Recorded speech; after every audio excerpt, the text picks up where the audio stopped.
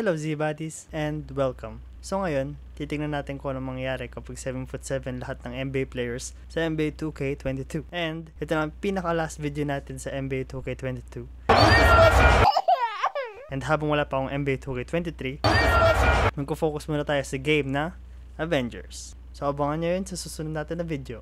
Let's go! Okay, so mag-enjoy na naman tayo ng konti. Kapag edit natin sila, makikita nyo na lahat sila ay 7 foot 7. Actually, hindi ko alam na pinapayagan to ng NBA 2K. Dati kasi hanggang 5 foot 5 lang ata. O 5 foot 4. 7 foot 5 lang. Ata 7 foot 4. Nice. Pero ngayon, pwede na hanggang 7 foot 7. Grabe. Titignan natin kung ano mangyari. Best player pa rin natin si Giannis. First game muna. Actually, nasaan ko maraming rebounds silang lahat. Kasi 7 foot 7 nga sila, di ba? Okay, so umabot na tayo sa All-Star Weekend, boys. Tingnan natin kung sino yung captains. Team James tsaka Team Luka. Wala mong bago ni isa. Okay. Tingnan muna natin kung sino yung MVP ng Rising Stars. Okay, si, si Dick Bay. Okay, ito na ang pinaka-inintay natin, boys. 3-point contest. Tingnan natin kung sino yung mga kasali. Trey Young, Desmond Bain, Kevin Durant, Luka Doncic, Devin Booker, and Jalen Brown. Three-point contest. We'll get to see the best three-point marksmen, showing everyone what they've got. The Oh, no. Those Pause. So, may nangyari dun sa audio natin. Ang pangit ng kinalabasan niya. Kaya, voiceover ko na lang yung mga nangyari. So, sa makikita nyo dito, ito si Trey Young na 7'7". Ito si Desmond Bain na 7'7". Ito si Kevin Durant na 7'7". Ito si Luka Doncic na 7'7". Ito si Devin Booker na 7'7". And last, ito si Jalen Brown na 7'7". So, ang nangyari dyan ay nag-tied si Kevin Durant tsaka si Devin Booker sa 31 points. And sa ulit nanalo din si Kevin Durant. And siya yung nanalo ng buong 3-point contest. Yun lang. Back to the video, boys. Yung kasama sa dunk contest ay sila Anthony Edwards, Zion Williamson, si Ja Morant, and si Diallo. Okay, let's see. Nag-between the legs din siya. 43. Yeah, halos same lang. 32. Okay. Huwag naman between the legs, please. What are you doing? Okay. Yun yung pinaka-disappointing. What is that? 24. Bagay mo yan, boy. Okay, windmill naman. Dapat di na siya tumalong. 37. Jamarant, ayusin mo, buddy. Bang! Ooh! 360 windmill. Bang. 38 ang score ni Anthony Edwards. Okay, pumunta sa baseline. 29. Lineup 2 lang talaga yung mga basic dunks dito. Let's go, Ja. Ooh! Okay. Pwede, pwede. 44.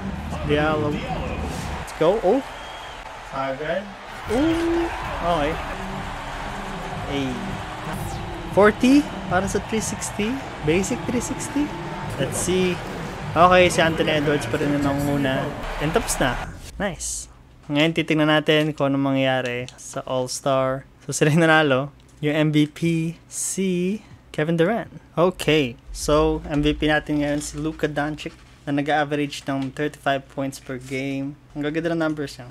Next, Rookie of the Year, Cade Cunningham. Sixth Man of the Year, Ben Simmons. Yun, kakaiba yun. Defensive Player of the Year natin si Giannis Antetokounmpo. And most improved natin si Tyrese Maxey. Coach of the Year natin, Tyler Jenkins. And executive natin si Charlie Evans the third. First team natin, second team natin, third team, first team all defense, second team all defense, all rookie first team natin, all rookie second team natin. Nice recap. Skip na natin yung play-in tournament. Kapag may game 7, doon lang tayo papasok sa game. Simulit na natin yung game. What? Na-sweep yung Milwaukee Bucks. Okay, so far so good. Naalis na din ng Denver. Naalis na yung mga malakas na team. Miami din, naalis na. What? Los Angeles Lakers. Uh, do. Meron tayong 2 game 7 dito. And titignan natin kung sino yung mauna. Okay, yung Warriors muna versus Suns. Pag malapitan ng game, papasok tayo.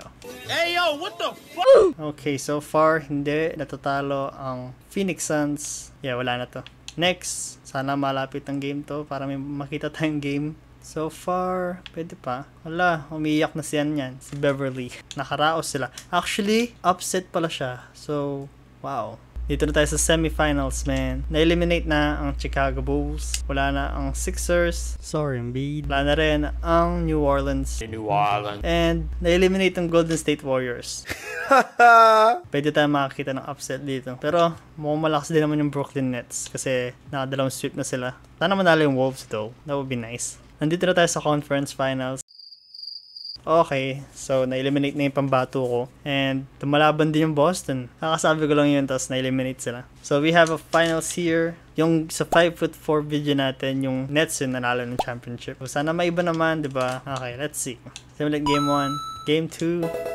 Ooh, lumalaban yung Jazz. Game 3.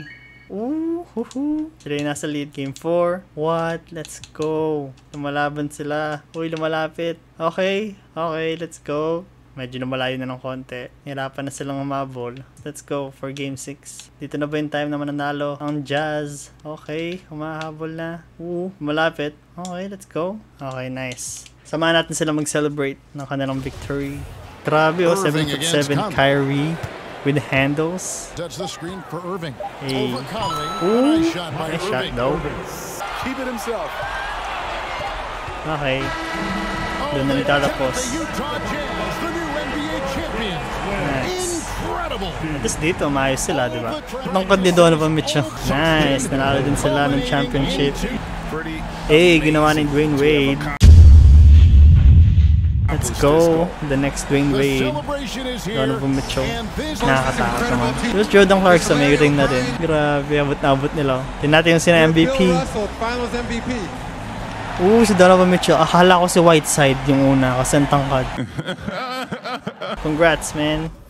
So yun, medyo kakaiba yun ah. 35 points, nice. Okay, talagang lilaklak nila in Nets. Nice one. Congrats. Nag-champion yung Utah Jazz dito and at least para na may maiba. Doon na nagtatapos ang video na to. See you all next week or next next week. Thank you sa mga nanood and ingat kayo mga buddies. Bye-bye.